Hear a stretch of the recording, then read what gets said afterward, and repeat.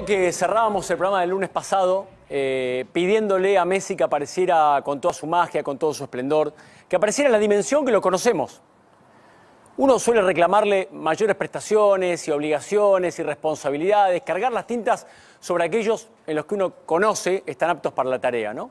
En este caso puntualmente estamos hablando de fútbol, de la selección argentina y de uno de los mejores de la historia del fútbol mundial. Por eso le reclamábamos a él, hablo en primera persona, Roberto también lo hizo, los dos decíamos, bueno, que demuestre en este partido. Y eso no significa que antes no creyéramos en él, sino que entendíamos que era un partido que podía ser claramente un punto de inflexión. Incluso al otro día, Roberto también vino a mi programa que hago en otro canal, en Canal 26, y dijimos exactamente lo mismo. Ojalá sea este el partido en el cual Messi nos cierre la boca y definitivamente se meta a la gente en el bolsillo, eh, porque hay que ser muy consecuente con lo que uno dice y piensa, ¿no? Porque yo también veo, escucho, yo vi todo lo que se dijo después de Venezuela, vi y leí y escuché todo lo que se dijo después de Perú, y miren que todo el mundo decía lo mismo que nosotros, ¿eh? Todos. No, se dejen engañar, porque de repente parece que todos piensan distinto y yo soy el único que critiqué a Messi alguna vez. O a los jugadores de la selección o esta selección. Y yo no tengo ningún problema en hacerme cargo de las cosas que dije. Claro que he sido crítico. Igual que ustedes. Igual que ustedes. Igual que ustedes las 17 fechas anteriores de la eliminatoria. Igual que ustedes, y la mayoría, porque escuché y vi todo, hasta las 20, 29 horas de la Argentina. 20 y 30 empezó partido. Hasta las 20 y 29 yo estaba sentado en un lugar público. Estos pibes tienen que ir todos. No se puede creer lo mal que juegan. Messi nunca nos salva, no es el Diego. Yo escuchaba, ¿eh? Vos que estás del otro lado, no te engañes. Después, si querés divertirte conmigo, escribirme, tomá, Lieberman la tenés adentro, Messi te la puso, todas esas cosas, no hay problema. Aguanto, aguanto, tengo espalda, no pasa nada. Si te diviertes, hacerlo, hacelo. Pero acordate bien qué pensabas vos y qué hablabas vos con tus amigos hasta un minuto antes que empiece el partido. Y cómo venías siguiendo la secuencia de lo que le pasaba al seleccionado nacional. ¿Estaba equivocado yo en cuestionarlo? ¿Estaba equivocado en criticar el andar del equipo? ¿Jugaba bien la selección nacional? ¿Hay que ser positivo como periodista o hay que decir la verdad? ¿Hay que ser buena onda, tirar para adelante o hay que ser crítico? ¿Cuál es la función del periodista? ¿Decir lo que está sucediendo, decir lo que está pasando, intentar hacer una lectura real de la situación o apoyar? Yo creo que la del hincha es apoyar, la del periodista es la otra. Puedo estar equivocado, esta es mi forma por lo menos, y yo sí respeto la de todos, la de todos, sin excepciones. La mía es esta, la que me ha llevado a trabajar muchísimo tiempo, por suerte en forma ininterrumpida, y la que genera adhesiones y rechazos, y que me banco perfectamente. Lo que de ninguna manera voy a permitir es que se mienta, que se tergiverse sobre las cosas que pienso y digo. Porque nunca salió de mi boca la palabra pecho frío, o las palabras pecho frío, para describir a Messi. Nunca, jamás. Porque nunca en mi vida hablé sobre el himno, si lo canta o no lo canta. Porque nunca le dije español. Digo, las cosas que me han llegado, ¿no? Eh, porque nunca puse en tela de juicio sus condiciones. Jamás jamás. Y porque sobre, sobre todas las cosas siempre creí que era él el único que nos podía salvar. Y ahora te voy a mostrar algunas cosas que editamos para que mi palabra no caiga en saco roto. Voy a decir ahora decir todo esto. Lo vas a ver, con fecha, día, hace más de un año, hace, hace días nada más. Lo vas a ver. Lo que digo es, me hago cargo de lo que digo, más no de lo que inventan. Me hago cargo de lo que digo. Que juego mal las finales, lo ratifico. Vos lo viste jugar bien con Alemania, te felicito. Yo lo vi jugar mal con Alemania. Vos lo viste jugar bien con Chile en las dos finales, te respeto, respetame, yo lo vi jugar mal. Vos lo viste jugar como el otro día muchos partidos en la selección, yo no. ¿Lo vi jugar bien en la selección? Sí.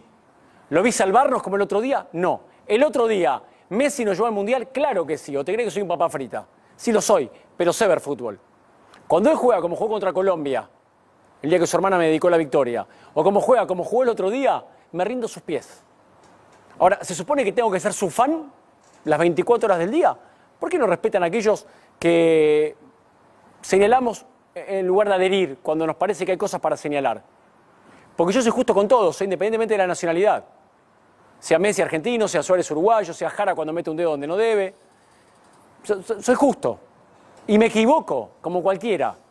Pero sé muy bien qué no dije. ¿Qué no dije?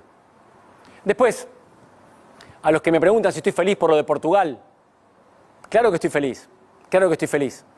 No sé cómo son ustedes, pero yo, cuando alguien se porta bien conmigo, quiero su bien. Quiero su éxito, quiero su alegría. Y Cristiano Ronaldo se portó muy bien conmigo, se portó muy bien conmigo. Y entablamos hasta una relación. ¿Vos qué querrías con un tipo que se porta bien con vos? ¿Que le vaya bien o que le vaya mal? ¿Qué te divierte más? ¿Que Portugal y Ronaldo jueguen el Mundial o que se queden afuera? A mí que lo juegue. Y si un tipo se porta bien conmigo, quiero que le vaya bien. Entonces a todos los que me dicen portugués o los que me escriben portugués, una tontería. Mira, si jugaran Argentina y Portugal, yo creo que gana Argentina 4 a 3. Y que Ronaldo haga los 3. Si me dices los 4 de Argentina, seré el tipo más feliz del mundo. Yo con la gente que se porta bien conmigo, soy agradecido. ¿Sí? Pero soy bien argentino y mucho más que cualquiera. O igual que cualquiera como mínimo. Con respecto a qué pensaba yo de Messi, te invito a que compartamos esto. Cámeros a todos del púlpito, todos entran en el análisis, nadie es intocable, el único intocable es el 10, y el 10 no está. Yo creo que Argentina se va a clasificar, sí creo que se va a clasificar. Creo que se va a clasificar. Quiero que vayas al Mundial, quiero que vayas al Mundial. Quiero que vayan al Mundial. Si ustedes van, nosotros vamos. Si no, lo miramos por la tele. Para los boludos que creen que no queremos que Argentina vaya al Mundial. Argentina tuvo hoy al mejor del mundo es su máxima expresión. Como siempre digo, por otra parte, sin Messi no podemos soñar nada, con Messi podemos soñar. No nos casamos con nadie, que no tenemos etiquetas, que no tenemos rótulos, que no nos importa la nacionalidad para criticar, sea Suárez porque muerde, sea Messi porque insulta, sea Jara porque mete un dedo donde no debe argentinos, uruguayos, chilenos, aquí hacemos periodismo. De ninguna manera creo que no tengamos buenos jugadores. ¿Cómo voy a discutir la categoría individual de cada uno de ellos? Empezando por Messi. ¿Tenemos jugadores buenos? Excelentes, excelentes. ¿Cracks? Claro, Messi. El único intocable es el 10. Quiero que vayan al Mundial. Sin Messi no podemos soñar nada. Con Messi podemos soñar. Aquí hacemos periodismo. ¿Cracks? Claro, Messi.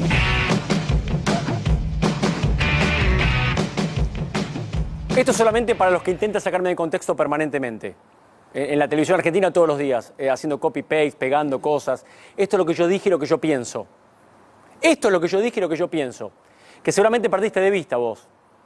¿No? No te acordás que estás del otro lado y solamente me cuestionás y me criticás porque creo que la función del periodista es señalar lo que está pasando. Y lo que pasaba, ¿sabes qué era? Un desastre. Un desastre. Fue un bochorno lo de la selección argentina durante la eliminatoria. Un bochorno. Nos clasificamos en la última fecha y solo por Messi contra un equipo eliminado, con cinco derrotas consecutivas, con chicos que no habían debutado en la selección, algunos habían jugado un puñado de minutos, se habían ido de joda un día antes. En ese contexto, igual tuvimos que necesitar que nos salve el único de nosotros que es crack. Como digo siempre, no como digo ahora. ¿Sí? Como viste ahí que digo siempre. Siempre. Y como siempre dije, creía que nos íbamos a clasificar y quería que nos clasifiquemos. Porque nací acá y porque mi hijo es argentino. Y porque mi hijo tiene como ídolo a Messi. Entonces, a las pruebas me remito. No tengo mucho más para decir. Martín, ¿puedo decir una cosita? Sí.